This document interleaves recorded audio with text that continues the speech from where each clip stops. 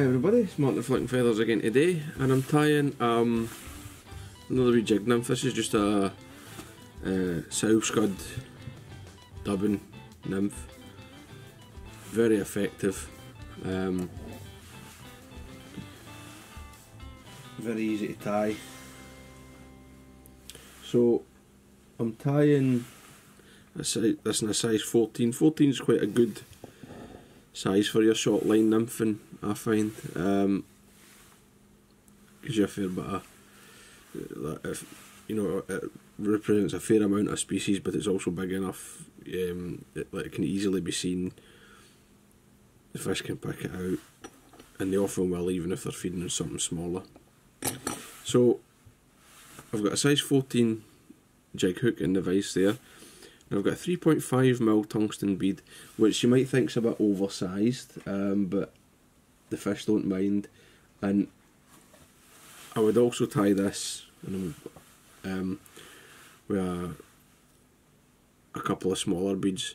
So we've got 3.5, uh, maybe a 2.8 or a 3 and a, a 2.5 it means you can fish the same pattern in a range of flow speeds and depths. Um, you know, like, and not have to be worrying about changing patterns. And it's actually quite a good way to approach your nymph boxes. You probably don't need a huge number of patterns, um, but tie them in two or three sizes and two or three weights. You could probably get away with 12 or 14 patterns and catch fish everywhere in the world. So tail is um, Coq de Leon, and I'm just going for a bit of shank length. Just catch this off, tie it down. The length of the shank. Right, this helps give you a nice smooth body, helps you build the taper.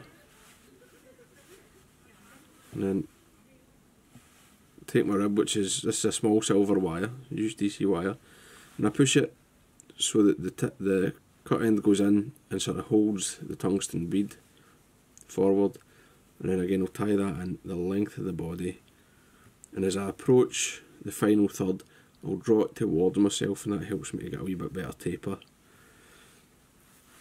in the underbody. But I mean doesn't you don't really need to do this. So I'm going to take my dubbing. This is a uh, Sow Scud dubbing and it's light rainbow. Just really nice colour, you know, you reflects a blue and red and stuff in here.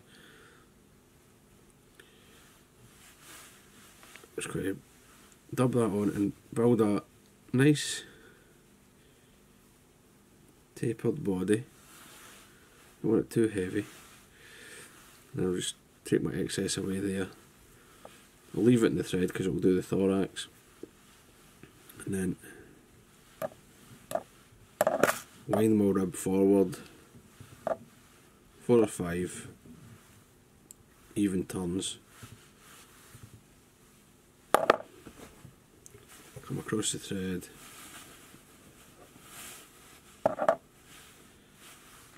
turn the front to lock it, and then just bend and break the wire away, then you can come in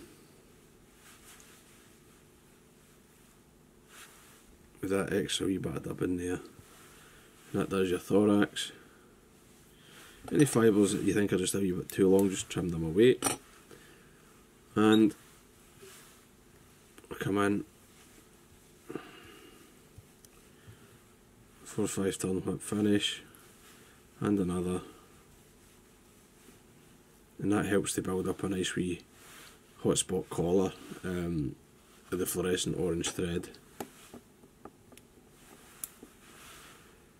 trim away your waste and then just come in with a bit of head cement to protect those wraps. There you go. We sow a wee sow bug dubbing nymph tied in a jig hook. You don't need to tie in a jig hook, you can tie in a curved hook, tie it on a straight hook if you like. Um, as I say, vary the bead size to change the weights, tie them in a couple of different sizes. well worth a go um, if you if you do any sort of short line nymphing. So thanks very much for watching guys. Uh, don't forget to subscribe to my channel and give me a thumbs up below. Bye.